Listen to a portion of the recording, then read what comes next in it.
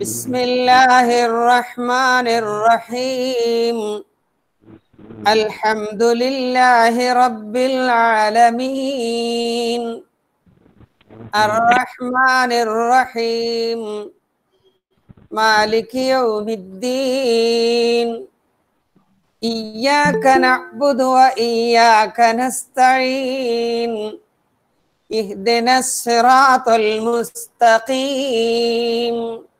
صراط الذين أنعمت عليهم غير المغلوب عليهم ولا الضالين ഇത് നമുക്ക് പഠിക്കേണ്ടത് സുഹൃത്ത് നാസിയാത്തിലെ ഇരുപത്തൊന്ന് മുതൽ ഇരുപത്തിനാല് വരെയുള്ള ആയത്തുകളാണ് ഇങ്ങനെ പിന്നീട് ഇരുപത്തി ഒന്നാമത്തെ ആയത്തിലൂടെ അള്ളാഹു പറയുന്നത് ബട്ട് ഹി റിജക്റ്റഡ് വാ പിന്നെ അസ ആൻഡ് ഫറോവയെ കുറിച്ച് പറയാണ്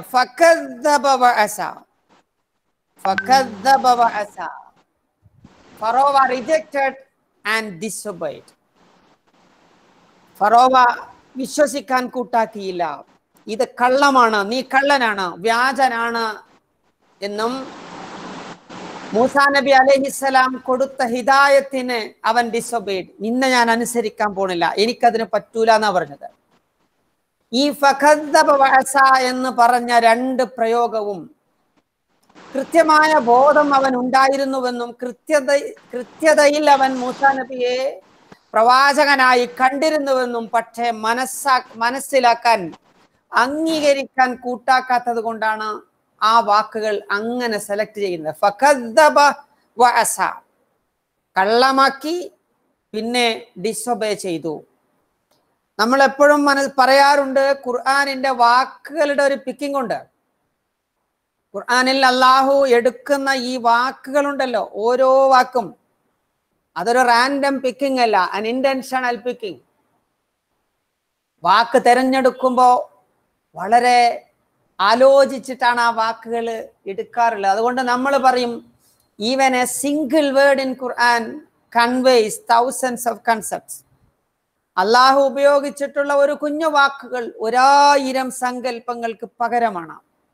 അത്ര ശക്തിയാണ് ഓരോ സന്ദർഭത്തിലും ഖുർആാനിൽ ഉപയോഗിക്കുന്ന വാക്കുകൾ എന്നത് അവൻ കളവാക്കി അവൻ അനുസരണക്കേട് കാണിച്ചു.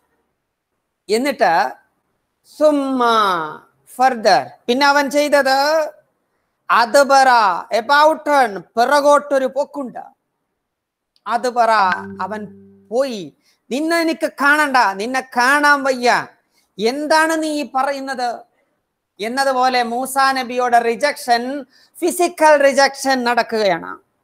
ആദ്യം മെന്റലി റിജക്റ്റഡ് സുമ പിന്നീട് അത് പറ ഇല്ല നിന്റെ മുന്നിൽ ഞാൻ വരില്ല. ഫിസിക്കലായി ഡിസപ്പിയർ ചെയ്യണം. അത് പറ പിറകോട്ട് മാറി. എബൌട്ടൺ അടിച്ചു. എങ്ങനെ? യെസ് ആ.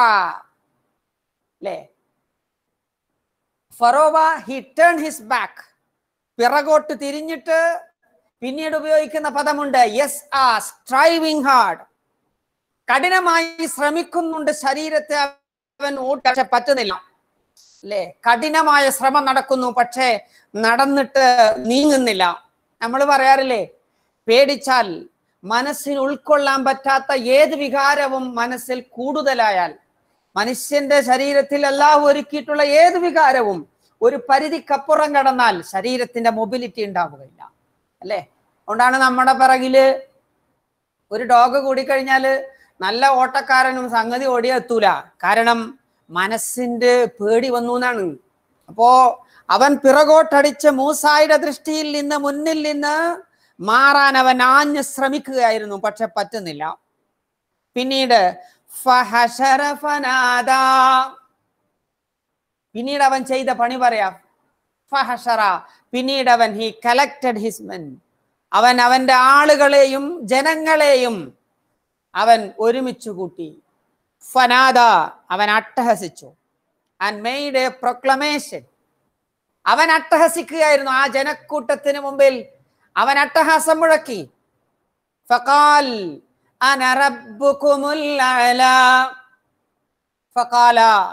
അവൻ പ്രഖ്യാപനം നടത്തി. എന്താ പ്രഖ്യാപനം നടത്തിയത്? അന നിങ്ങളുടെ റബ്ബ് ഞാനാണ്. റബ്ബ് വേറെ കുറെ ഉണ്ടാവുമായിരിക്കും. പക്ഷെ ഈജിപ്തുകാരുടെ റബ്ബ് ഞാൻ തന്നെയാണ്. ഫക്കാൽ അവൻ പറഞ്ഞു അന ഈ ഞാനാണ് റബ്ബുക്കും നിങ്ങളുടെ ലോഡ് യുവർ ലോഡ് അല്ല മോസ്റ്റ് ഹൈ അല്ലേ നിങ്ങളുടെ നിങ്ങൾക്ക് ഒരേ ഒരു ദൈവമേ ഉണ്ടാകാവൂ. ആ ഉന്നതനായ ദൈവം നിങ്ങൾക്ക് ഞാൻ തന്നെ. വിശ്വാസത്തെ അവൻ അടിച്ചേൽപ്പിക്കുകയായിരുന്നു. ഇനി ഇവിടെ നമ്മൾ എന്താ മനസ്സിലാക്കുന്നത്? എന്താണ് ഈ ആയത്തിലൂടെ പറയുന്നത് എന്ന. മൂസാ നബി അവൻ കളവാക്കി അനുസരണക്കേട് കാണിച്ചു. അവൻ പിറകോട്ട് കുതറി മാറി. അവൻ ഓടുകയായിരുന്നു പക്ഷേ അവന് വേഗത കുറഞ്ഞുപോയി. ഫഹഷറ അങ്ങനെ അവൻ ശേഖരിച്ചു. ആളെ കൂട്ടി. ഫനാദ ആ ജനക്കൂട്ടത്തോട് അവൻ അട്ടഹസിച്ചു. നിങ്ങളുടെ ഏറ്റവും ഉന്നതനായ ദൈവം നിങ്ങൾക്ക് ഞാനേ ആകാവൂ. ഞാനാണ് നിങ്ങളുടെ ഉന്നതനായ റബ്ബെന്ന് അവൻ വിളിച്ചു പറഞ്ഞു. എന്നാണ്. അല്ലേ? ഫറോവയുടെയും മൂസാ നബിയുടെയും തമ്മിലുള്ള fight the hero and the villain നമ്മൾ അങ്ങനെയാ. ഖുർആാനിലെ ഹീറോ ആൻഡ് ദ വില്ലൻ ആരാണെന്ന് ചോദിച്ചാൽ നമുക്ക് ഒരൊറ്റ ഇതിൽ പറയാൻ കഴിയും. ഫറോവയും മൂസാ നബിയുമാണ് എന്ന്. കാരണം അങ്ങനെയാണ് ആ കഥയെ ഖുർആൻ ഡീൽ ചെയ്യുന്നത്. എത്രയെത്ര സ്ഥലങ്ങളിലാണ് ഇവരുടെ രണ്ടുപേരുടെയും സംഘട്ടനം പറയുന്നത്. ഇനി എന്താണ് ഇവിടെ സംഭവിച്ചത് എന്നാണ്. നമ്മൾ മനസ്സിലാക്കണം. ഫറോവ ഫറോവ എന്നൊക്കെ കേൾക്കുമ്പോ ആ വാക്ക് നമ്മളെ സംബന്ധിച്ചിടത്തോളം അല്ലെ ഒരു ഫണ്ണി ക്യാരക്ടറാണ് എന്നാണ് നമ്മളൊക്കെ കണ്ടിട്ടുള്ളത്. അവൻ ഫണ്ണിയാണ് കാരണം എന്തൊക്കെ വിഡ്ഢിത്തരമാണ് അവൻ പറഞ്ഞത്. എന്തൊക്കെ വിട്ടിത്തരമാണ് അവൻ കാണിച്ചത്? അവസാനം മൂസാക്ക് മുമ്പിൽ തോറ്റുപോയവൻ. അല്ലെ? ചെങ്കടൽ അവനെ മുക്കിക്കുന്നു. അപ്പൊ നമ്മളൊരു ഫണ്ണി ക്യാരക്ടർ ആയിട്ടാണ് നമ്മുടെ മനസ്സിലേക്ക് ആദ്യത്തെ ഫറോവയെ കുറിച്ചുള്ള പെർസെപ്ഷൻ ദ ഇനീഷ്യൽ പെർസെപ്ഷൻ എന്നതൊരു ഫണ്ണി ക്യാരക്ടർ ആയിരിക്കും. പക്ഷേ നമ്മളതങ്ങനെ കേട്ടുകൊണ്ടാണ് അത് നമുക്ക് തോന്നുന്നത്. യഥാർത്ഥത്തിൽ ഖുർആൻ ഫറോവയുടെ ചരിത്രം പറയുന്ന ഇടത്ത് മൂന്ന് റോളുകളിലാണ് അവനെ പ്രതിഷ്ഠിക്കുന്നത്. ത്രീ ഗ്രേറ്റ് റോൾസ് ഒന്ന് ഒരു ഭാഗത്ത് നിന്ന് ആയത്തുകളെ നമ്മൾ വിശകലനം ചെയ്യുമ്പോൾ ഒന്നാമത്തെ റോൾ ദ നേഷൻ ബിൽഡർ ഈജിപ്താകുന്ന മഹാസംസ്കാരത്തെ പണിതെടുത്തവൻ. ആ രാജ്യത്തിന്റെ ശില്പിയാണവൻ നാടിന്റെ ശില്പിയാണവൻ. അല്ലേ രണ്ട് ഖുർആൻ ചിലയിടങ്ങളിൽ അവന്റെ മർദ്ദനങ്ങളെ കുറിച്ച് പറയുമ്പോ ആ ഭാഗം പ്രൊജക്ട് ചെയ്യുന്നത് as a military leader of Egypt Egypt എന്ന് പറയുന്ന മഹാരാജ്യത്തിന്റെ മിലിറ്ററി ലീഡർ ലോകത്തൊരു ശക്തിക്കും കൈവശം വെക്കാൻ കഴിയാത്ത കരുത്തുറ്റ അനുസരണയുള്ള പാദസേവ ചെയ്യുന്ന ഇത്രയും വലിയ ഒരു പട്ടാള വൃത്തം അല്ലെങ്കിൽ ഒരു ഒരു ഒരു സിസ്റ്റം ലോകത്ത് ഒരാൾക്കും കൈവശം വെച്ചിട്ടില്ല. അങ്ങനെയാണ് അവർ ചാവാൻ വിളിച്ചാൽ വരെ പോകും അല്ലേ പിരമിഡിന്റെ ഉള്ളിലേക്ക് ജീ പച്ചയായ ജീവനോടെ പ്രവേശിച്ച് അവസാനം അതിന്റെ കല്ലടച്ച് അതിൽ മരിക്കാൻ വരെ തയ്യാറായിട്ടുള്ള ഒരു മിലിറ്ററി പവർ വേറെ ആർക്കുണ്ടായിട്ടില്ല ഭൂമിയിൽ ആരെടുത്തും ആർക്കും ഉണ്ടായിട്ടില്ല. അറബികൾ പലപ്പോഴും പറയാറുണ്ട് അറബി രാജാക്കന്മാരെ കളിയാക്കി പറയാന് രാജാവാകണമെങ്കിൽ ഈജിപ്തിന്റെ രാജാവാകണം അഥവാ ഫറോവയാവണം അത്ര പവർഫുൾ ആണ് മൂന്ന് മൂസാനബിയുമായിട്ടുള്ള ഫിലോസഫിക്കൽ കൊമ്പാറ്റ് അതെ വിശ്വാസപരമായ യുദ്ധം നടക്കുമ്പോ ഖുർആൻ അദ്ദേഹത്തെ പരിചയപ്പെടുത്തുന്ന ഒരു തേർഡ് റോൾ ഉണ്ട് the religious leader of Egypt ഈജിപ്തുകാരുടെ മതനേതാവ് കൂടെയാണ് അദ്ദേഹം അല്ലേ? അപ്പൊ ആ പവർ എത്ര നോക്കിയങ്ങൾ ആ രാജ്യത്തിന്റെ ബിൽഡറാണ് the military leader and the religious leader ഇത്രയും വലിയ പൊസിഷനിലുള്ള ഒരാളുടെ മുന്നിലേക്കാണ് മൂസ നബിയുടെ പോക്ക് എന്നൊന്ന് ആലോചിച്ച് നോക്കുമ്പോൾ ആ ധൈര്യത്തെ നമ്മൾ എങ്ങനെയാണ് വിശേഷിപ്പിക്കുന്നത്? ഇനി ഇനി എന്താണ് ഈ നാലായത്തുകളിലൂടെ പറയുന്നത്? തുടക്കം ഈ നാലായത്തുകളുടെ ഇതിവൃത്തം എന്താണ് എന്ന് ചോദിച്ചാൽ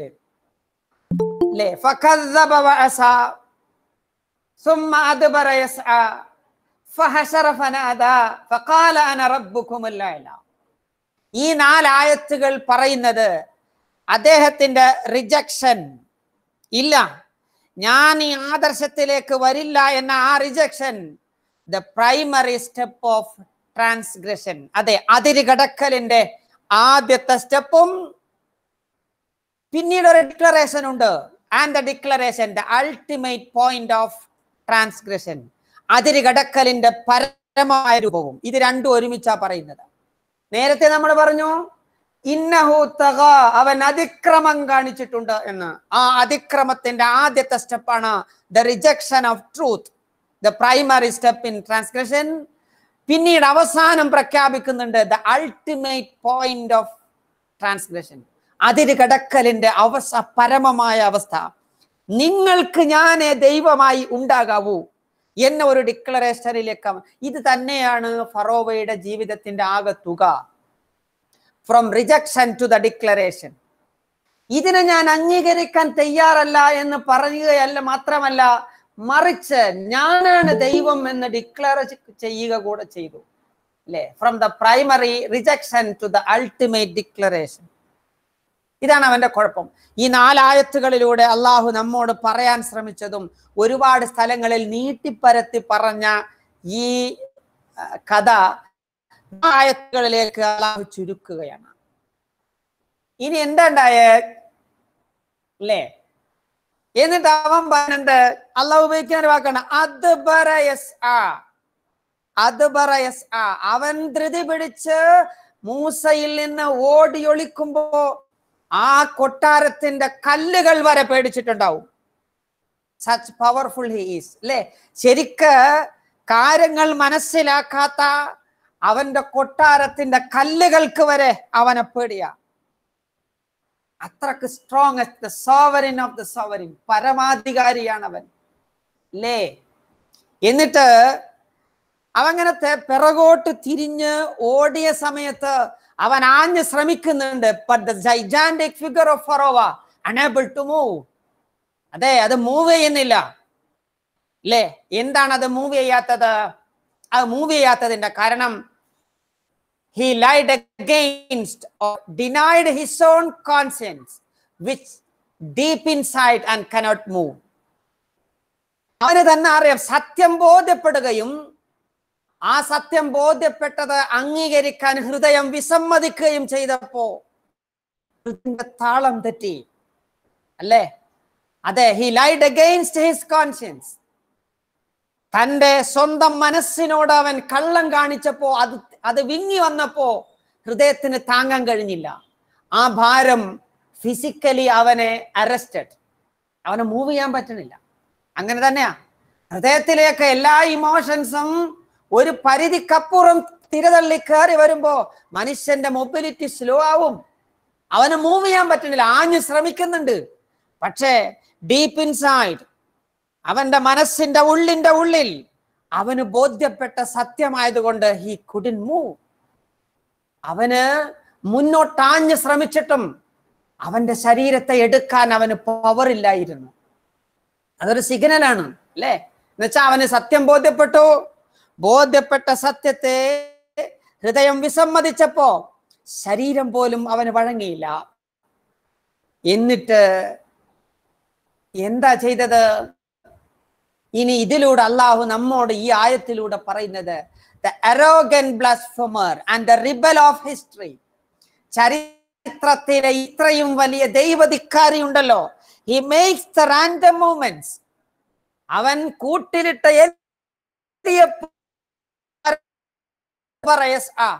ആഞ്ഞു നടക്കുകയാണ് അവൻ. എങ്ങോട്ടാണ് പോകേണ്ടത്? ആരെയാണ് ആരോടാണ് ഞാൻ എന്നറിയാതെ അവൻ അങ്ങോട്ടും ഇങ്ങോട്ടും ആ ഷൗട്ടിങ് ആ നടക്കുന്ന സമയത്ത് അവൻ ഇങ്ങനെ അട്ടഹസിക്കുക എന്താണ് എ മാജിക് ആൻഡ് ട്രിക്കറി ഇല്ല ഞാൻ കണ്ടത് സത്യമല്ല അത് കള്ളമാണ്. എന്റെ നാട്ടിലെ മുഴുവൻ മനുഷ്യരും കാണിക്കുന്ന മാജിക് ആണത്. ട്രിക്കറി കണ്ടു പ്രവാചകനല്ല അവൻ. എനിക്ക് വിശ്വസിക്കാനാവും അല്ലെ? അപ്പോ ചരിത്രത്തിലെ ഏറ്റവും അവന്റെ അസ്വസ്ഥതയിൽ നിന്ന് അവന്റെ പവർഫുൾ ആയ കൊട്ടാരത്തിലെ അവന്റെ സ്റ്റെപ്സ് ആണ് അല്ലേ? ദ ആങ്ഷ്യസ് സ്റ്റെപ്സ് അപ്പോഴൊക്കെ അവൻ പറയുകയായിരുന്നു കേട്ട സത്യത്തെ സ്വന്തം ശരീരത്തോട് കേൾപ്പിക്കുകയായിരുന്നു. മനസ്സെന്താണ് മരുങ്ങി മെരുങ്ങി വരാത്തത്? എന്തിനാണ് എന്റെ ശരീരമേ? നീ എനിക്ക് നിന്റെ ശരീരത്തെ കേൾപ്പിക്കാൻ അവൻ ഷൗട്ട് ചെയ്തത് അങ്ങനെ തന്നെയല്ലേ? ചിലപ്പോ അങ്ങനെയാണ് മനുഷ്യന് പേടി വരുമ്പോ അങ്ങനെയല്ലേ ഉണ്ടാവുക? ഞാനും നിങ്ങളും രാത്രി കാലത്ത് ഒറ്റയ്ക്ക് നടന്നു പോകുമ്പോ അസ്വസ്ഥമായ ഏതെങ്കിലും രൂപം കണ്ടാൽ കുറച്ചു ഉച്ചത്തിൽ ശരീരത്തെ കേൾപ്പിച്ചു പറയും ഏയ് എന്തിനാ ശരീരത്തിന്റെ മൂവ്മെന്റ് നിലക്കുമ്പോ മനുഷ്യന്റെ മനസ്സ് ശരീരത്തെ കേൾപ്പിക്കുകയാണ്? അത് അങ്ങനെയല്ലെന്ന് ഇതേപോലെയാണ് ഫറോവ പറയുന്നത്. ഇല്ല ഇത് കള്ളമാണ്. അങ്ങനെ തന്നെ ശരീരമേ നീ വിശ്വസിക്കണം. മാജിക് ഇതല്ലാതെ മൂസച്ചത് വേറൊന്നുമല്ല എന്നാ. എന്നിട്ടോ എന്താ കാര്യം എന്നറിയുമോ എന്തിനാണ് ഇങ്ങനെ അവൻ ഇങ്ങനെ അങ്ങോട്ടും ഇങ്ങോട്ടും അവൻ കൂട്ടിലിട്ട എലിയെ പോലെ ഓടിയതിന്റെ കാരണം? മൂസാസ് ദേവ has aimed even his ministers and feared the spreading as contagious. ഇതാണ് പ്രശ്നം. ഫറോവയുമായി മൂസയുടെ സംസാരം രഹസ്യമായ മുറിയിലല്ല. മറിച്ച് തന്നെ കാണാൻ വരുന്ന എല്ലാ മനുഷ്യരെയും എല്ലാ മനുഷ്യരും ഇരിക്കുന്ന ദർബാറിനകത്ത് രാജാവ് അവന്റെ കസേരയിൽ ഇരിക്കുന്നു. രാജാവിന് ചുറ്റും അധികാരം കാണിക്കാൻ ആയിരക്കണക്കിന് ഭടന്മാരും കാവൽക്കാരും നിരന്നിരിക്കുന്നു. അവന്റെ വലം കൈയും ഇട ഇടം കൈയുമായിട്ടുള്ള എല്ലാ ഒഫീഷ്യൽസും ഉണ്ട് അവിടെ അതിന്റെ മുന്നിലാണ് മൂസയുടെ സംസാരം. മൂസ ഒറ്റക്കും രാജകീയ സംവിധാനങ്ങൾ എല്ലാം ഒരു ഭാഗത്തും. എല്ലാവരും കൂടി നിൽക്കുമ്പോ മൂസയുടെ ദേവത്തിന്റെ കാഠിന്യമുണ്ടല്ലോ. അത് അവന്റെ മിനിസ്റ്റേഴ്സ് പോലും അവർ പരസ്പരം ചെവിയിൽ എന്തോ മന്ത്രിക്കുന്നത് അവൻ കണ്ടു എന്നാണ്. തന്റെ അനുവാദമില്ലാതെ വാതുറക്കാൻ പോലും സ്വാതന്ത്ര്യമില്ലാതിരുന്ന സ്വന്തം മിനിസ്റ്റേഴ്സ് പരസ്പരം അവർ പിറുപിറുത്തു. ആ പിറുപിറുത്തത് അവന് പിടിച്ചില്ല. അതൊരു സിഗ്നലാണ് അവൻ ഫിയേർഡ് അവൻ എന്ത്? മൂസയുടെ വിശ്വാസം അത് പകരും. ഏതുപോലെ? ആസ് കണ്ടേജിയസ് പകരുന്ന രോഗം പോലെ ഒരാളിൽ നിന്ന് മറ്റൊരാളിലേക്ക് പകരുമാറ്.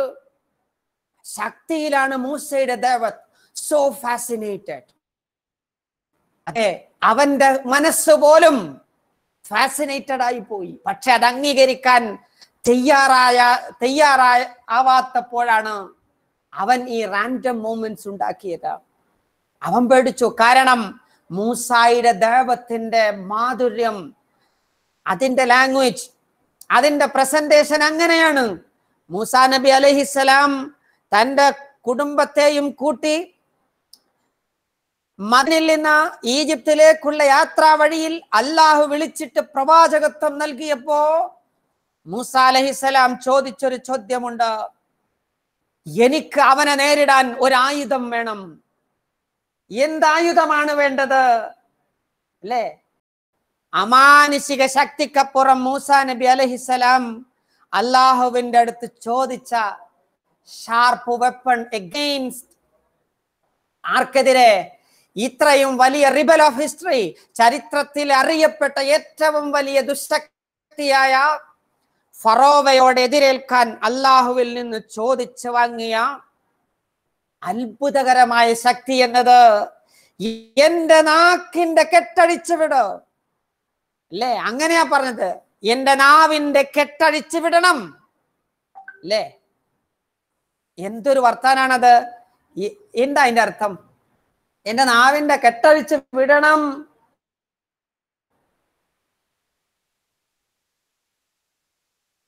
എന്ന് പറഞ്ഞാൽ നമ്മളെ കുറെ വിവരമില്ലാത്ത ആൾക്ക് സല്ലാഹു അലൈഹി വസല്ലമ അവന് കൊഞ്ഞയുണ്ടായിരുന്നു എന്ന് കള്ള പുറത്തു തരട്ടെ ക്ലാസ്സിന് വേണ്ടിയിട്ടാണ് അപ്പോ പറഞ്ഞത്. എന്നിട്ട് നാവിന്റെ അടിയിൽ ഒരു പാട ഉണ്ടായിരുന്നു. ആ പാട അറുത്തിടാൻ പറഞ്ഞു എന്നാണ്. പഠിച്ചവനെ നമ്മൾ അറിയുമോ എല്ലാ ഇംപെർഫെക്ഷനിൽ നിന്നും പ്രവാചകന്മാരുടെ ആട്രിബ്യൂട്ട്സിൽ പെട്ടതാണ്. ഫ്രീ ഫ്രം ഇംപെർഫെക്ഷൻസ് എന്നത്. മനുഷ്യന് സാധാരണ സംഭവിക്കാകുന്ന ഒരു ഇംപെർഫെക്ഷനും അവർക്കുണ്ടാവാൻ പാടില്ല. ഉണ്ടായാൽ ജനങ്ങളെ കളിയാക്കും. മൂസാ നബിക്ക് ഈ പറയുന്ന കൊഞ്ഞ എന്ന് പറയുന്ന ആ അവസ്ഥ ഉണ്ടായിരുന്നെങ്കിൽ ആദ്യം ഫറോവ പറയുന്നത് ഈ കൊഞ്ഞയുള്ള നീയാണോടാ പ്രവാചകൻ? നിന്നെയല്ലാതെ വേറെ ആരെയും റബ്ബിന് തെരഞ്ഞെടുത്താനില്ലേ? എന്ന് ചോദിക്കും. അപ്പൊ അങ്ങനെയല്ല. അത് മണ്ടത്തരമാണ് പറയുന്നത്. മറിച്ച് നമുക്കറിയാം ഫറോവയുടെ ഏറ്റവും വലിയ ശക്തി എന്ന് പറയുന്നത് അവന്റെ വർത്തമാനമാണ്. അങ്ങനെയാണ് ഒരു ലാംഗ്വേജ് ഉണ്ട്. ആ ലാംഗ്വേജ് ആണ് ആ സംസ്കാരത്തെ പിടിച്ചു നിർത്തിയിരുന്നത്. So powerful as well as fearful വളരെ പവർഫുൾ ആണ് അതേപോലെ പേടിപ്പിക്കുന്നതുമാണ്. ഇങ്ങനെ മനുഷ്യരോട് സംസാരിക്കുന്ന ആ ഫറോവയെ എതിരിടാൻ മൂസാ നബി അലഹിസ്സലാം ചോദിച്ചത് എസ്റ്റോം ലൈക്ക് ടങ്ക് കൊടുങ്കാറ്റിനെ പോലെ ആഞ്ഞടിക്കുന്ന ഒരു നാവുത എനിക്ക് എന്നാണ്. അപ്പോ ഇത്രയും കരുത്തനായ രാജാവിന്റെ മുന്നിൽ പതറാതെ മൂസാ നബിയുടെ ദൈവത്തിന്റെ ലാംഗ്വേജ് ലാംഗ്വേജ് ഓഫ് ദ ദൈവ അത് ഈ കേട്ട് നിന്ന മിനിസ്റ്റേഴ്സിന്റെ മനസ്സിളക്കി അവൻ പേടിച്ചുപോയി. മൂസാ നബിയിൽ നിന്ന് ഏറ്റുവാങ്ങിയ ഈ വിശ്വാസം മഹാമാരി പോലെ പരക്കുമോ എന്ന് കണ്ടേജിയസ് ആസ് എ പാൻഡമിക് അതുകൊണ്ടാണ് അവൻ ഇത്രയും പേടിച്ചത്. എന്നിട്ടോ അവൻ അടുത്ത പേടിച്ചത് miracle of Musa threaten the whole devilish unity of Pharaoh a political conspiracy Pharaoh അങ്ങനെ പറയുന്നുണ്ട് നീ രാജ്യത്തിനെതിരെയാണ് പ്രവർത്തിക്കുന്നത് എന്നാണ്. A devilish unity of Pharaoh അവൻ പേടിച്ചത് എന്താ ഈ ഫറോവ നിലനിർത്തിയിരിക്കുന്ന ഒരു പൈശാചികമായ ഐക്യമുണ്ട്. എന്താ പൈശാചികമായ ഐക്യം? അല്ലേ അതെ മതനേതാക്കളും രാഷ്ട്രീയ നേതൃത്വവും ഒന്നാവുക എന്ന ഭീകരമായ അവസ്ഥ. The unity among the politicians and religious scholars അങ്ങനെ വന്നാൽ സംഭവിക്കുന്നത് രാജ്യത്ത് അക്രമവും അനീതിയും കൊള്ളരുതായ്മകളും നടക്കും. അത് നമുക്ക് ഒരുപാട് ഒരുപാട് ഉദാഹരണങ്ങൾ അതിൽ നിന്ന് കാണാൻ നിയമങ്ങൾ നിർമ്മിക്കുന്ന പൗരോഹിത്യവും രാഷ്ട്രീയ നിയമം കൂട്ടുകെട്ടുണ്ട്. ഈ കൂട്ടുകെട്ട് പൊളിക്കും മൂസ എന്ന്. കാരണം അദ്ദേഹത്തിന്റെ വലം കൈയായി നിൽക്കുന്ന കയറ് പാമ്പായും പാമ്പിനെ വീണ്ടും കയറായും ഒക്കെ കളിച്ചിരുന്ന ഈ പൗരോഹിത്യത്തിന്റെ മനസ്സിലൊക്കെ മൂസ കയറിയിട്ടുണ്ട് ഇത് തകർന്നാൽ ആ രാജ്യമില്ല. മനുഷ്യരെ അടിമകളാക്കി വെക്കാനും ഭൂമിയിൽ എല്ലാത്തരം അധർമ്മത്തിന്റെയും കാരണം ഈ യൂണിറ്റിയാണ്. ഇങ്ങനെ ഒരു ഡെവലിഷ് യൂണിറ്റി ഉണ്ടാവാൻ അവൻ പേടിച്ചതും അതാണ്. ഈ രാജ്യത്തിലെ മനുഷ്യരെ പേടിപ്പിച്ച് എങ്ങനെ രാഷ്ട്രീയ നിയമങ്ങളാലും മതനിയമങ്ങളാലും പേടിച്ചിട്ട് പേടിപ്പിച്ച് നിർത്തി അവൻ പറയുന്ന ദിശയിലേക്ക് മനുഷ്യരെ കൊണ്ടുപോകണമെങ്കിൽ ഈ പൗരോഹിത്യവും രാഷ്ട്രീയവും തമ്മിലുള്ള ഒരു കൂട്ടുകെട്ട് വേണം. ആ കൂട്ടുകെട്ട് മൂസ പൊളിക്കുമെന്ന് അവൻ ഉറപ്പായിരുന്നു. അല്ലെങ്കിൽ എന്തിനാണ് മൂസ ഒരു വടിയുമായി പ്രത്യക്ഷപ്പെട്ടത്? എന്തിനാണ് വടിയെ പാമ്പാക്കിയത്? അപ്പൊ the miracle of Musa threaten the whole devilish unity of Pharaoh. It was a political conspiracy Musa നബിക്കെതിരിൽ Pharaoh പറഞ്ഞൊരു വർത്തമാനമായിരുന്നു അത്.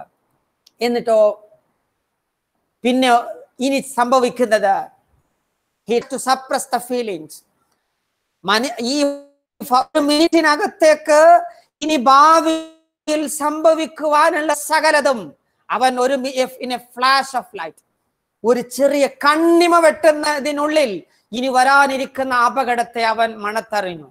കാരണം അങ്ങനെയാ ഭൂമി ലോകത്ത് ഒരുപക്ഷെ ഏറ്റവും ഐക്യു കൂടിയവൻ ആര്? എന്ന് ചോദിച്ചാൽ അത് ഫറോവയാണെന്ന് നമുക്ക് പറയാൻ പറ്റും. ചരിത്രത്തിലെ വലിയൊരു ഐക്യമുള്ള ഒരു മനുഷ്യനായിരുന്നു അദ്ദേഹം. അപ്പൊ ഈ ഫീലിങ്സ് എല്ലാം മനസ്സിൽ ഇങ്ങനെ കയറി വന്ന ഇതെല്ലാം സപ്രസ് ചെയ്യാൻ ശ്രമിക്കുമ്പോഴും the worse the situation becomes അത് ആലോചിക്കും തോറും മനസ്സ് വീണ്ടും വീണ്ടും കനത്ത് വരികയാണ്.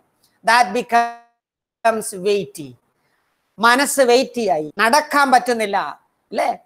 എന്താ കാര്യം? A king living in greatness ഒരുപാട് ഒരുപാട് ഗ്രേറ്റ്നെസ്സിൽ ജീവിച്ചു കൊണ്ടിരിക്കുന്ന ഈ രാജാവ് ടേൺ ടു ഡെസ്പെറേഷൻ അതെ നിരാശ എന്തെന്നറിയാത്തവൻ. നിരാശക്കൊരയും ഒരിക്കലും നിരാശപ്പെട്ടിട്ടില്ല അവൻ. കാരണം എന്തിന് നിരാശപ്പെടണം?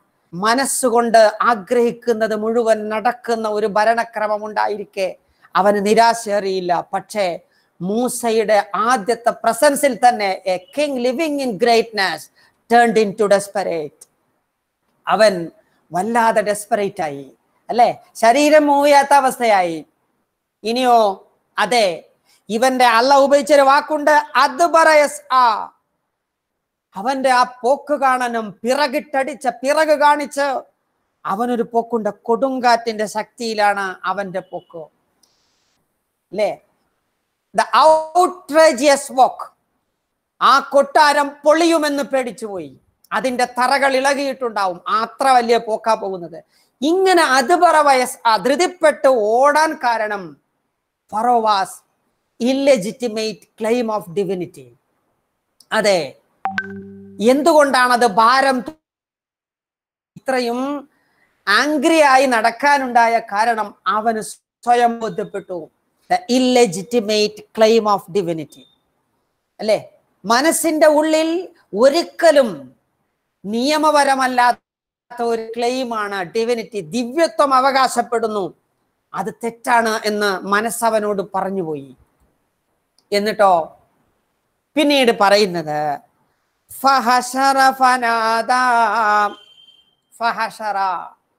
അവൻ ഒരുമിച്ചു കൂട്ടി എന്നാണ്. വിളിച്ചു എന്നല്ല പറയുന്നത് ഒരുമിച്ചു കൂട്ടി. ആ വാക്കിനൊക്കെ വലിയ അർത്ഥമാണുള്ളത്. അല്ലേ ഫഹശറ ഒരുമിച്ച് കൂട്ടി. അല്ലേ ആ വാക്കിന്റെ അർത്ഥം ഫറോവ പിന്നീട് ശരിക്ക് ഹഷറ എന്ന വാക്ക് ഉപയോഗിക്കുന്നത് ചിന്നിച്ചിതറിക്കിടക്കുന്ന ഈ ഒരുമിച്ച് കൂട്ടുന്നതിനാണ് ഹഷറ എന്ന് സാധാരണ പറയാറുള്ളത്. അതിന്റെ അർത്ഥം ഫറോവ ഭരിച്ചുകൊണ്ടിരിക്കുന്ന ഈജിപ്തിന്റെ ക്രമത്തിൽ അയാൾക്ക് അയാളല്ലാത്തവരെല്ലാം മൃഗത്തെ പോലെയാണ് കാണുന്നത്. അല്ലെ? മനുഷ്യൻ എന്ന പറയാലും മൃഗങ്ങളെ പോലെയാണ് അവരെ അവരെ ട്രീറ്റ് ചെയ്യുന്നത്. എന്നിട്ട് അവരെ ഒരുമിച്ച് കൂട്ടുക. എന്ന് വെച്ചാൽ അവർക്കിഷ്ടമല്ലെങ്കിൽ പോലും ഫറോവയുടെ പേടിയിൽ നിന്ന് ഒരുമിച്ച് കൂട്ടപ്പെട്ടു. അഥവാ ചാട്ടവാറ് പേടിക്കുമാറ് ആട്ടിൻകൂട്ടങ്ങൾ ആട്ടിടയൻ അനുസരിക്കുന്നത് പോലെ പേടിയിൽ നിന്ന് അവരെല്ലാം അനുസരിച്ചു. അല്ലെ ചരിത്രം അതിനെ വിശേഷിപ്പിക്കുന്നത് ഇങ്ങനെയാണ് Pharaoh mobilised public opinion against Musa and radicalised his people against Musa.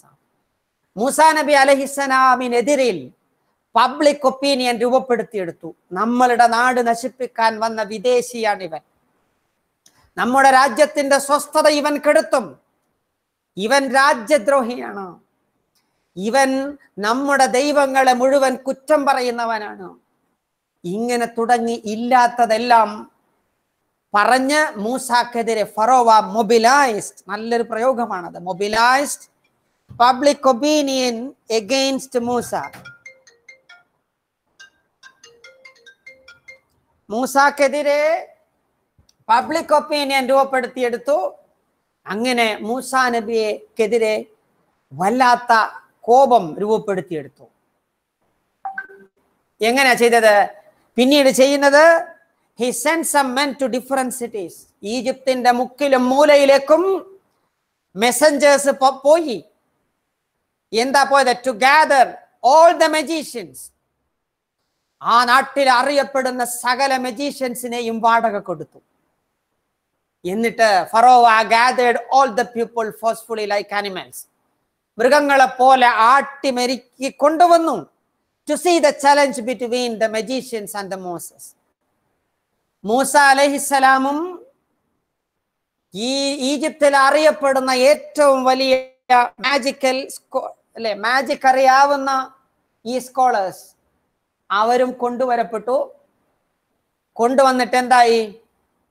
ഒരുപക്ഷെ ഇന്നും ഈജിപ്തിൽ എവിടെയാണോ ആ സമ്മേളനം നടന്നത് അതിന്റെ മണൽത്തരികൾ ഇന്നും കുളിരോടെ ഓർക്കുന്ന ഓർമ്മകളായിരിക്കും ഈ ഗാദറിംഗ് എന്നത് അള്ളാഹുവിന്റെ പ്രവാചകൻ മൂസ അലഹിസ്സലാമും അള്ളാഹുവിനോട് നേർക്ക് നേരെ യുദ്ധത്തിന് വെല്ലുവിളിച്ച പിരമിഡിന്റെ മുകളിൽ കയറിയിട്ട് പോരിനു വട എന്ന് മൂസയുടെ ദൈവത്തെ വെല്ലുവിളിച്ചവനാണവൻ. അവനും തമ്മിലുള്ള അല്ലേ? ഒരു ഒരു യോഗാണ് നടക്കുന്നത്. അങ്ങനെ എല്ലാവരും വന്നു. വന്നതിന് ശേഷം എന്തൊരു പ്രൗഢിയിലാണ് അവൻ അന്ന് വന്നിട്ടുണ്ടാവുക. മൂസാ നബി അലൈഹിസ്സലാം ഒറ്റക്കാണ്. കൂടെ സഹോദരൻ ഹാറൂനും രണ്ടുപേരും അപ്പുറത്ത് ഒരുപാട് പേരുമാണ്. എന്നിട്ട് ഇതിൽ ഈ ഈ മീറ്റിംഗ് നടക്കുന്നത് ഈ ഒരുമിച്ച് കൂട്ടൽ നടക്കുന്നത് അവരുടെ യൗമുസീന എന്ന് പറയുന്ന ഒരു ഡേ ഉണ്ട്. യൗമുസീന. അല്ലേ? എന്ന് വെച്ചാൽ ഭംഗിയുള്ള ദിവസം എന്നാണ് അതിനർത്ഥം. ഭംഗിയുള്ള ദിവസം. ലോകത്താദ്യമായി ഒരു നാട്ടിലെ മനുഷ്യർക്ക് ആഴ്ചയിൽ ഏഴ് ദിവസവും ജീവിതമാർഗത്തിന് വേണ്ടി പണിയെടുക്കുമ്പോൾ ഒരു ദിവസം പണിയെടുക്കാതെ കറങ്ങാനും രസകരമായ ആഘോഷങ്ങൾ കാണാനുമൊക്കെ ഒരു ദിവസം വേണം എന്ന ഒരു വലിയ ചിന്ത അഥവാ ദ ഹോളിഡേ സിസ്റ്റം ഈ ലോകത്തിന് പരിചയപ്പെടുത്തിയത് ഫറോവയായിരുന്നു. Such great he was Quran ചില സമയത്ത് അഡ്മയറിംഗ് ടോണിലാണ് ഫറോവയെ കുറിച്ച് സംസാരിക്കുന്നത്. അതുകൊണ്ട് അങ്ങനെ പറയണേൽ കുഴപ്പമൊന്നുമില്ല. അല്ലേ? അപ്പൊ യോമുസീന അന്ന് തന്നെ വിട്ടു. അപ്പൊ എന്താ? അന്ന് എല്ലാവർക്കും ഒരുമിച്ച് കൂടാൻ പറ്റും. യോമുസീനയുടെ പ്രത്യേകത നമുക്കറിയാം. യോമുസീന എന്ന് പറഞ്ഞാൽ ഭംഗിയുള്ള ദിനം. അന്ന് സ്ത്രീകളെല്ലാം നന്നായി വസ്ത്രം ധരിച്ച നന്നായി വസ്ത്രം ധരിക്കുക എന്ന് പറഞ്ഞാൽ വസ്ത്രം ധരിച്ചു എന്ന് തോന്നുമാറുള്ള വസ്ത്രം ധരിക്കുകയും നല്ല ആഭരണങ്ങൾ ധരിക്കുകയും ഈജിപ്തിലെ സ്ത്രീകളുടെ ഏറ്റവും വലിയ ഹരം എന്ന് പറയുന്നത് ആഭരണങ്ങളായിരുന്നു. നന്നായിട്ട് ഇപ്പോഴും അങ്ങനെ തന്നെ. ലോകത്തെ ഏറ്റവും വലിയ ഓർണമെന്റ് കിട്ടുന്നതൊക്കെ ഈജിപ്തിലാണ്. അപ്പൊ ഈ സ്വർണത്തിന്റെ ഇതെല്ലാം ഇട്ടിട്ട് ആണും പെണ്ണും ഒക്കെ ഇങ്ങനെ ഇറങ്ങി നടന്ന് എല്ലാവരും രസകരമായി ആഘോഷിക്കുന്ന ഒരു ദിവസം ഉണ്ടായിരുന്നു. ദാറ്റ്സ് യോമുസീന ആഴ്ചയിൽ ഒരിക്കൽ. ആ ദിവസമാകുമ്പോൾ ആരും വീട്ടിലിരിക്കൂല. എല്ലാവരും പുറത്തിറങ്ങും. അപ്പൊ ആ ദിവസം തന്നെ തിരഞ്ഞെടുക്കൂ. തെരഞ്ഞു അവൻ തന്നെ എല്ലാവരും ഒന്ന് കാണട്ടെ. എന്റെ ശക്തി ഒന്ന് കാണട്ടെ എന്ന് വിചാരിച്ചിട്ടാണ് മൂപ്പര് ആ ദിവസം തിരഞ്ഞെടുത്തത്. പക്ഷേ ഇറ്റ് വാസ് സച്ച് ഫൂളിഷ് അത് ഭയങ്കര ഫൂളിഷ്നെസ് ആയിരുന്നു. മൂസാ നബി അലഹിസ്സലാം എന്താഗ്രഹിച്ചുവോ അത് തന്നെ നടന്നു. ഈജിപ്തിലെ സകല മനുഷ്യരുടെയും വീട്ടിൽ പോയിട്ട് ഏകനായ ദൈവത്തെ പരിചയപ്പെടുത്തുക അസാധ്യമായിരുന്നു. മറിച്ച് അവനെ കൊണ്ട് തന്നെ വിളിപ്പിച്ചു. ഈജിപ്തിലെ മുഴുവൻ മനുഷ്യരെയും എനിക്ക് വിളിച്ചു കൂട്ടിത്ത. ദൈവത്തിനുള്ള ഒരു വലിയ അവസരം അവൻ തന്നെ തുറന്നു കൊടുത്തു. എന്നിട്ട് മൂസാ നബി അലഹിസലാമിനോട് ഫറോവ ചോദിക്കുന്നുണ്ട് നീ തുടങ്ങുന്നുവോ? ഞാൻ തുടങ്ങണമോ? എന്ന്. അപ്പോ വളരെ കണ്ണിങ് ആയിട്ടുള്ളത് heroic Musa adventurous Musa Musa നബി അലൈഹിസ്സലാം പറയുന്നത് രാജാവേ അങ്ങ് തുടങ്ങിയാലും കയർ അങ്ങോട്ടിട്ട് കൊടുക്കാണ്. അല്ലേ? അങ്ങ് തുടങ്ങൂ. അങ്ങേ ഞാനും ബഹുമാനിക്കുന്നു. അങ്ങ് കരുത്തനാണ്. ഈ നാടിന്റെ രാജാവാണ് അങ്ങ്. അങ്ങ് തന്നെ തുടങ്ങണം. ഞാൻ തുടങ്ങുന്നത് ഉചിതമല്ലല്ലോ. അങ്ങ് തുടങ്ങിയാലും. അപ്പോഴൊരു ചി ആ ഫറോവയുടെ ചിരി ഒന്ന് നിങ്ങൾ ആലോചിച്ച് നോക്കേ ആകാശം മുട്ടത്. Still it echoes in the sky Musa നബിക്ക് എതിരെയുള്ള ദ ലോഫിംഗ് ആറ്റ് ആ ചിരി ഉണ്ടല്ലോ അതിപ്പോഴും ആകാശത്ത് മുഴങ്ങുന്നുണ്ടാവും. അങ്ങനെ രാജാവിന്റെ കൽപ്പന പ്രകാരം മത്സരിച്ചവർ മാജിക് കാണിച്ചു. കാരണം ഇതിൽ മൂസയെ പരാജയപ്പെടുത്തിയാൽ നാളെ കൊട്ടാരത്തിലെ വലിയൊരു സ്ഥാനത്തിന് അവൻ അർഹനാണ്. ഫറോവ അവന്റെ കൊട്ടാരത്തിലേക്ക് ചേർത്ത് വെക്കും. ഗവൺമെന്റ് ജോലി കിട്ടും. അവന്റെ വലിയ ആളായി മാറും. അതുകൊണ്ട് സകലരും മത്സരിച്ചു. മത്സരിച്ചിട്ട് പിന്നെ കാണുന്ന കാഴ്ച കൊണ്ടുവന്ന കയറുകളും കൊണ്ടുവന്ന വടികളും മുഴുവൻ പാമ്പായി ഇഴഞ്ഞു തുടങ്ങി. ഭൂമി ലോകത്ത് ഏറ്റവും പേടിയുള്ള സാധനം പാമ്പാണെന്ന് ഓർക്കണം. അല്ലേ? അതിനേക്കാൾ എത്രയോ ഭീകരമായതാണ് പുലിയുടെ മുന്നിൽ അല്ലെങ്കിൽ പുലിയെ കാണാനും സിംഹത്തെ കാണാനും ഒക്കെ നമുക്കൊരു ബ്യൂട്ടി ഉണ്ട്. അതിനെ എൻജോയ് ചെയ്യാൻ പറ്റും. പക്ഷേ സർപ്പമുണ്ടല്ലോ പാമ്പിന്റെ ഭംഗി ഇന്ന് വരാരും പറഞ്ഞിട്ടില്ല. അതിന് ഭംഗിയില്ലാഞ്ഞിട്ടൊന്നുമല്ല പക്ഷേ അത് ഫിയർഫുൾ ആണ്. അപ്പൊ മല പോലെ ഈജിപ്തിലെ കേറാൻ പറ്റാത്ത മലയോളം ഉയർന്ന പാമ്പുകൾ വന്നു. അള്ളാഹുവിലേക്ക് മൂസ അലഹിസലാം കണ്ണുയർത്തിയപ്പോ അൽ മൂസ എറിയടോ വടി. വടി അങ്ങോട്ട് താഴേക്കിട്. അൽ ഖിയസാഖ്. അല്ലെ അങ്ങനെയല്ല പറയാ. അടിക്ക് വടി കൊണ്ട് താഴെ ഇടുന്ന അങ്ങനെ മൂസാ നബി അലഹിസലാമിന്റെ വടി പാമ്പായി ഇവരുണ്ടാക്കിയതിനെ മുഴുവൻ വിഴുങ്ങി. മൂസാ നബിക്ക് മുമ്പിൽ വന്ന് വിനീത വിധേയനായി ഇനി എനിക്ക് എന്താണ് ചെയ്യാനുള്ളത്? എന്ന് ചോദിക്കുമാറ് കീഴടങ്ങി നിന്നു. പിന്നീട് പിടിച്ചപ്പോഴേക്കും അത് വീണ്ടും വടിയായി. ഇത് വടിയായപ്പോ പിന്നീട് ഖുർആൻ മറ്റുള്ള സൂറത്തുകളിൽ പറയുന്നത് നമുക്ക് കേൾക്കാം. ഇത് കണ്ടതോടുകൂടെ ഫറോവ വിളിച്ചു വരുത്തിയ ഫറോവയുടെ ചോറുണ്ട ഫറോവ വളർത്തിക്കൊണ്ടുവന്ന അവന്റെ വലങ്കൈ മുഴുവൻ അവന്റെ പത്നി പോലും ഉൾപ്പെടെ പറഞ്ഞു പോയി. ബിറബ്ബി മൂസ നബിയുടെയും ഹാറൂനിന്റെയും ദൈവത്തിലേക്ക് ഇതാ ഞങ്ങൾ കൂറുമാറിയിരിക്കുന്നു എന്ന് അവരൊരൊറ്റ പ്രഖ്യാപി പ്രഖ്യാപനം. അപ്പോഴുള്ള അലർച്ചയാണ് ഇല്ല അനറബുക്കുമല്ല നിങ്ങൾ വിശ്വസിക്കുന്ന മൂസയുടെ ദൈവത്തെക്കാളും മുന്നിലാണടാ ഞാൻ എന്നുള്ള പ്രഖ്യാപനം.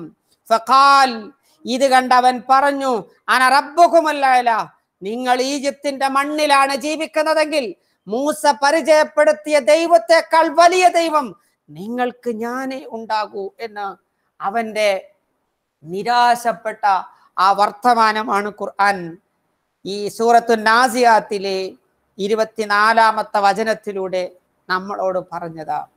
ഇനി അവന്റെ അന്ത്യം കുറിക്കുന്ന അവസാനത്തെ അവന്റെ അവൻ അല്ലാഹു എങ്ങനെ കൈകാര്യം ചെയ്തു എന്ന് പഠിക്കുന്ന ആയത്താണ് ഇരുപത്തി അഞ്ച് ഇരുപത്തി ആറ് ആയത്തുകൾ. ആ രണ്ടായത്തുകളും ഇൻഷാല്ല നമ്മൾ അടുത്ത ക്ലാസ്സിൽ പഠിക്കും. അള്ളാഹു നമ്മളെ അനുഗ്രഹിക്കുമാറാവട്ടെ. നമ്മളിൽ നിന്ന് വന്നുപോയിട്ടുള്ള പ്രയാസങ്ങളെല്ലാം തെറ്റുകളെല്ലാം അള്ളാഹു വിട്ടുപുറത്ത് മാപ്പാക്കി അനുഗ്രഹിക്കുമാറാവട്ടെ. നമ്മുടെ നാട്ടിൽ പ്രയാസപ്പെട്ടുകൊണ്ടിരിക്കുന്ന രോഗങ്ങളാൽ പ്രയാസപ്പെട്ടുകൊണ്ടിരിക്കുന്ന എല്ലാവർക്കും അള്ളാഹു ശിഫ നൽകി അനുഗ്രഹിക്കുമാറാവട്ടെ. എല്ലാ മനുഷ്യർക്കും നഷ്ടം നൽകിയ കാലത്താണ് നമ്മൾ ഉള്ളത് പട്ടിണി കൊണ്ട് പ്രയാസപ്പെടുന്ന സാമ്പത്തിക ഭദ്രതയില്ലാതെ മാനസികമായി പിരിമുറുക്കം അനുഭവിക്കുന്ന മനുഷ്യരാണ് തൊണ്ണൂറ് ശതമാനവും. അള്ളാഹു അവർക്കെല്ലാം മെന്റൽ ഇമ്മ്യൂണിറ്റി നൽകി ശാരീരിക ഇമ്മ്യൂണിറ്റി ഒക്കെ അള്ളാഹ് നമുക്ക് തന്നിട്ടുണ്ട് ഇനി വേണ്ടത് മെന്റൽ ഇമ്മ്യൂണിറ്റിയാണ് അള്ളാഹിന്റെ അടുത്ത് ചോദിക്കേണ്ടത് അള്ളാഹു എല്ലാവർക്കും മനക്കരുത്ത് നൽകി അനുഗ്രഹിക്കുമാറാവട്ടെ എത്രയും പെട്ടെന്ന് പഴയ കാലത്തിലേക്ക് മടങ്ങിപ്പോകുവാൻ അള്ളാഹു നമുക്ക് തൗഫീക്ക് നൽകട്ടെ റബ്ബന അത്തിന ഫിദ്ദുന്യ ഹസന വഫിൽ ആഖിറതി ഹസനതൻ വഖിന അദാബന്നാർ اللهم يسر سيرنا وسهل امورنا وقل هوائجنا واشف امراضنا يا شافي الامراض امين برحمتك يا ارحم الراحمين